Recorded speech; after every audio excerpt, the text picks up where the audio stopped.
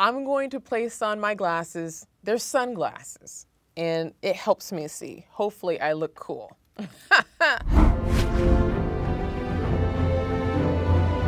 Hi, I am Olympia LePoint, an award-winning rocket scientist, author, and TED speaker. I helped launch 28 NASA space shuttle missions into space, and I love, love, love science. As a rocket scientist, we help launch the technology that we use today within video conferencing. The internet, the video games that you play, the streaming that you have, it's all based on the technology that we launched 20 years ago. We're gonna see what's science fiction versus what's real. And we're gonna start playing the game Returnal.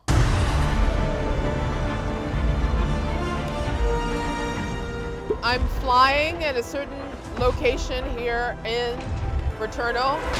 Ooh!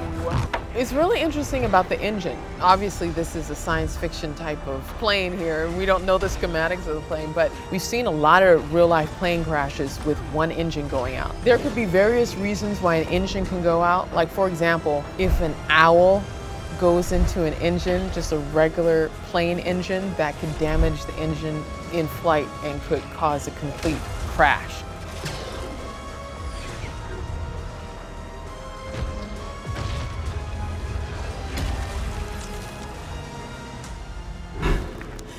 Astra, this is Selene. I've crashed on Atropos. I survived, but Helios did not. Okay, these jetpacks are really cool. I'm seeing how the jetpacks are helping to be able to jump quickly. A lot of people don't know that jetpacks aren't just science fiction. They're actually in real life. There's jet systems that work as a propellant. It's helping me jump up quicker. Oh, we assume these are plants that are safe for her to run through, but we don't know the if these plants are actually safe or not or if they're poisonous. It's really interesting. If people are on a foreign planet, they don't necessarily realize that planets don't have the same type of botany as, as what we would have here on Earth. There's like eating plants with electromagnetic fields of some sort. In real life, there are plants that eat. There's some human eating plants in rainforests. I hope you know that if this is actually here on Earth but they don't have this type of electromagnetic charge to them that will zap you. So that part is science fiction. Well, what's really interesting to notice, we don't know what's falling down. We assume it's rain, but on this planet, rain is water, which is hydrogen and oxygen. But on this particular computer game, we don't know if what's coming out of the sky is something different. It could be like on some planets, liquid metal, but I doubt that because if it were liquid metal, it would be burning through her spacesuit. Atropos. I have found a deceased Astra Scout here. Checking identification on a helmet. It's... I don't think it was a good idea that she touched a diseased, decaying body. She has no idea if she's going to be affected by that or not. Oh. Now these are some sort of alien creatures. Oh! This is nasty. Okay. Oh! These look like, oh, these look like cross between dinosaurs and snakes. Oh, that's nasty.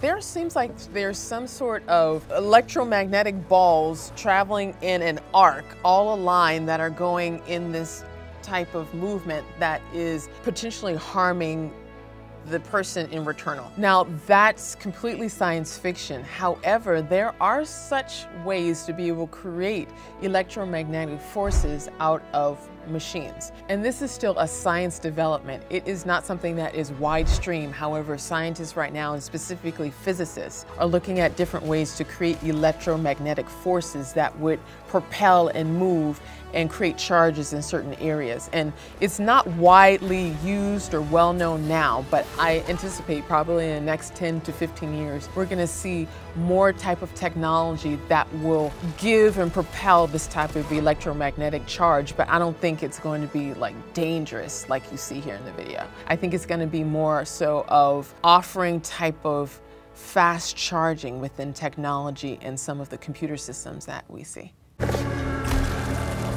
Oh! Oh no! I think I'm dying. Ah! Okay. Time seems to be rewinding.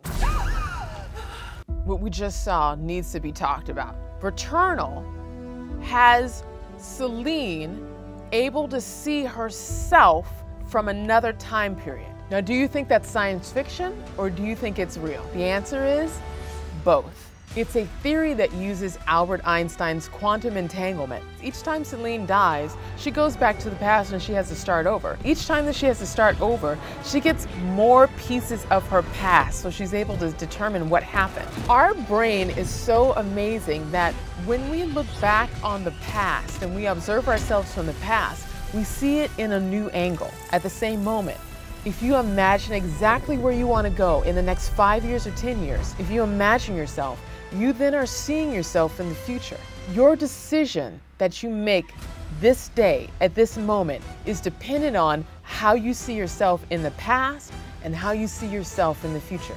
So she has artificial intelligence that creates a three-dimensional hologram. This actually is in real life. I'd say we can look at this type of virtual reality probably in the next five to 10 years of looking at holograms of different things. Instead of talking to someone on a video, you may be talking to somebody in a hologram. So I would give this an eight in terms of the science of making decisions. This game, Returnal, is really interesting because it deals with how you make decisions. And each time you make a decision and it doesn't turn out the way that you want it, you can actually go back into the past in this game and start over. Our lives are very similar. We can always want to go somewhere, but if we don't go back to the past and figure out what we've learned from it, we can't go back to where we want to go in the future.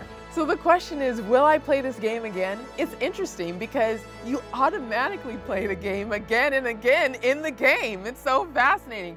Returnal has you replay the game and master it